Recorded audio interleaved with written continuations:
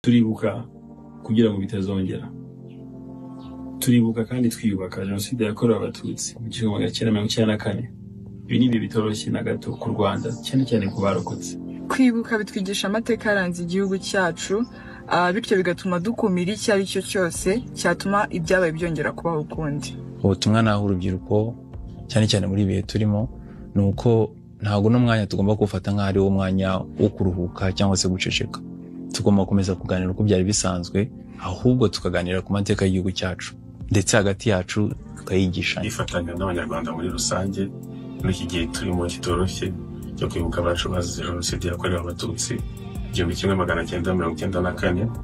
Nkaba nifatanya n'imiryango yabuze ababo. Nkatwe nk'urubyiruko mureke tugire umukoro wo kurwanya ingengabitekerezo ya jenoside mu buryo bukoreshwa bwose dushishikariza abanyarwanda bose kugira umwete n'umurava wo kumenya amateka y'u rwanda rwacu We carry within us the weight of the past and the promise of the future. We're not just bystanders of the narrative of this nation, we are architects, and we have the power to make a change, to make a difference. As the youth, it is our responsibility to fight against genocide, ideology, and divisionism. It is only through unity that we can contribute to the growth of our country.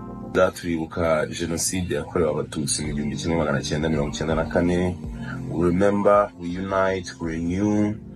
Kwibuka twiyubaka. Umusanzu wacu nk'urubyiruko ni ukomeza gusigasira ibyagezweho duharanira kubaho kandi neza. Ndasaba urubyiruko ndetse n'abanyarwanda muri rusange dukomeze kuba hafi abarokotse tubafate mu mugongo kandi tubakore. Let's learn from the past and fight genocide ideologies and let's make never again a reality.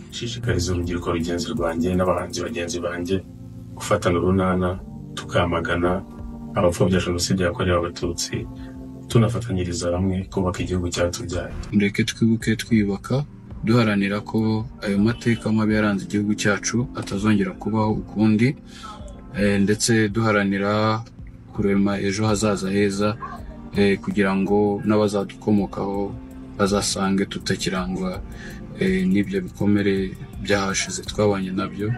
Bazavukire mu gihugu cyiza cy'amata n'ubuki turashimira cyane byimazeyo ingabo za rpf zabashije guhagarika jenoside mu bihe bitari byoroshye na gatoya imana iha umugisha u rwanda imana iha umugisha ingabo za rpf imana iha umugisha abarokotse ndetse ikomeze no kubakomeza. Kwibuke twiyubaka.